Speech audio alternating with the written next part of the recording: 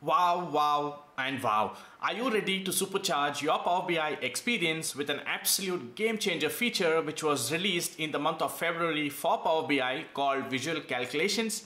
Are you tired of wrestling with complex DAX formulas to achieve those basic calculations? Well, no more because today I am thrilled to explore a revolutionary feature that will transform the way you create calculations within Power BI. Say hello to Visual Calculations, the Excel-like feature that you've been dreaming of. From my tone, you can clearly say that I'm truly excited to explore this feature. I've been waiting for this feature from a few months now and finally it is here. I haven't really spent a lot of time exploring this feature, but I thought let me quickly make a tutorial to help you guys understand how this particular feature is going to make your life easier. With all this excitement, I forgot to introduce myself. Well, my name is Ismail and welcome back to my channel MI Tutorials. So without further ado, let's get started with this tutorial. The first thing that you will have to do is download the latest release, which is the February release. And then once you've installed Power BI, head over to the file, click on option settings, head over to the options under preview features, scroll down and this is where you will find visual calculations. Check this box and restart your Power BI. Once you've done that, you will see that we now have the new calculation feature available within the calculations tab. Let's start by adding in some data fields. I'm going to add, let's say category, sales and profit. I've added all of these three fields here. Let me change this into a column chart. Now that I have created the visual, I have the new calculation option available. Let me click on this new calculation. Now things to remember here, the calculations that you create in this visual stays within this visual. It is not created within the model and is not available between the other visuals that you will have in your report. So whatever calculations that you create stays within that particular visual. So let's start by creating our first calculation. There is a little FX button here. Microsoft has created some templates of the most used DAX functions which you can create with just a click of a button. So the first one here says running sum or the cumulative sum that we call it this as. So let's call this as cumulative sum and all you have to do is refer to the field which you want to create the cumulative sum for. For example, let's say I want to create the cumulative sum for the column profit that I have in my table. I can refer to the column here which is sum of profit and then click on confirm and with just a click of a button I now have a cumulative sum created in my table and the same is also being displayed in the column chart that I have above. How cool is this? Earlier, if you had to do this, you had to write complex DAX, you had to remember a lot of stuff, but now Microsoft has made this really easy. Now let's add another calculation here. Let's say for example, you want to subtract the sum of sales with the sum of profit column here. All you have to do is let me just rename this and call this as difference is equals to, I can now simply refer to sum of sales, subtract that with sum of profit. I can refer to the column sum of profit and click on confirm. I now have created a difference column just like the way you create in an Excel.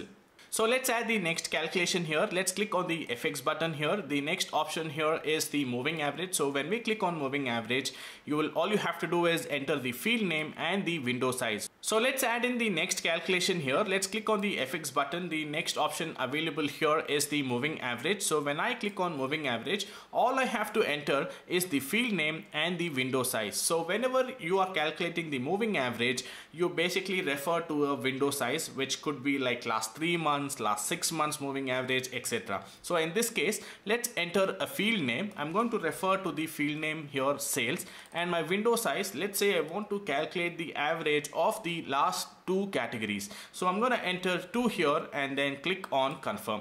Now you can see that I'm calculating the average in this case in the eggs, meat and fish row here which is returned as 1.9 million. It is basically calculating the average of eggs, meat and fish category and the beverages category and returning the moving average of that particular category you can see that how visual calculations is going to make your life easy. You do not really need to know DAX to create difference, moving average or the cumulative sum in this case. So Power BI is now working towards making life really easy for Power BI developers. Let's look at the next option here. When you click on FX button, you have percent of parents. So to give you a demo of this, let me bring in the subcategory as well into the X axis. And now I have the subcategory details and you can see that the moving average all is getting calculated calculated based on the fields that we have in our table here. So let's add a new calculation here. I'm going to click on the FX button.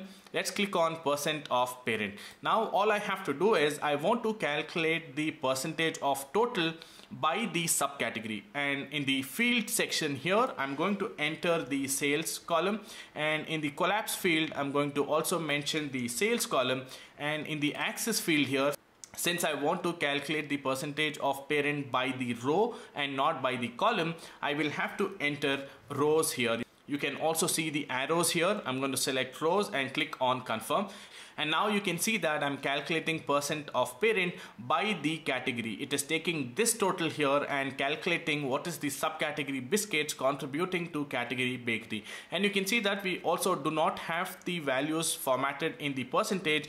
So all you have to do is go back to the visual, right click on the calculation that you have added, click on edit calculation and let's format this particular calculation here and followed by a comma. I'm going to enter 0.0%, close the quotes, close the brackets and confirm. And now our percent of parent is displayed here in percentage. Let's take a look at the next option that is available here. Let's add a new calculation. Let's click on the FX button and now you have percentage of grand total. If you want to now calculate how much is biscuits category contributing to the entire total sales amount, you can do that here. So let's enter the sales field here. You can see how simple this has been made using the visual calculations. I'm going to enter sales again here and all you have to do is type in rows and click on confirm. And now you can see that and let's quickly go back to the edit here and let's add the format function here 0.0%, close the quotes, close the bracket and confirm. And now if you want to know how much did biscuit subcategory contribute to the total of sales, you can see that right here. And if you want to take a look at by category, you can do that by category as well. You can see that 12% of these total sales were contributed by the category bakery. I mean like how, how cool is this?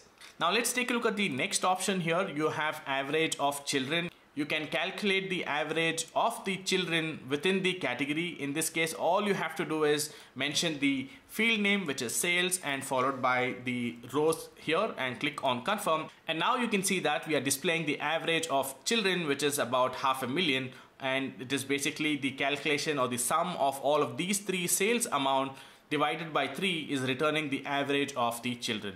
Now let's take a look at the next calculation which is available here. When you click on the FX button, you have versus previous. Now, if you have to refer to the previous row, earlier you had to write complex DAX, etc. But now you can just refer to them like the way you refer in Excel. For example, I want to refer to the previous row here. I can simply enter the field name, which is sales and the previous field. Uh, all I'm doing here is using the function called previous and referring to the previous sales and click on confirm. And now you can see that we are now subtracting the value 6 lakhs here with 5 lakhs 9000 and returning the value here as 91000 likewise you can see here 5 lakh 36094 is being subtracted with 6 lakhs here and the value is being returned as negative 64000 and likewise when I look at this drop down here you have versus next versus first you can calculate the difference with the first value that is available in that particular category. And you also have the versus last the last category that is available within that particular table now that I have created all of these values within this visual and if I want to hide a certain values I can do that. But remember that if you remove any of the values for example if I remove the sales amount from here the visual is going to break. I need to have the sales amount added in here. So let's quickly add the sales amount back here. And let me click check this box. And now I can rename this to sales. Make sure the name matches as well. Since I have renamed this column now my calculations are all back now. And if I have to hide any of the values for example let's say I don't want to display sales I don't want to display profit I just want to display the cumulative sum difference and moving average I can hide all of them here. Let's say let me hide this as well. I now have the cumulative values being displayed right on this visual if you want to enable more details, you can do that. If let's say, for example, if you want to display sales along with the cumulative value, you can do that right here. You can either choose to display the calculation or hide the calculation by clicking on these icons over here. So I'm completely blown away by these visual calculations which I have been waiting for a very long time. Like I mentioned earlier that I haven't really explored the visual calculations in detail and probably I will do that in the coming days and maybe create another tutorial for you guys to explore the visual calculations and how this can make your life easy. Thanks for staying around until the end of this video. I hope you enjoyed this tutorial, you learned something new today. Please consider subscribing to my channel for more such tutorials.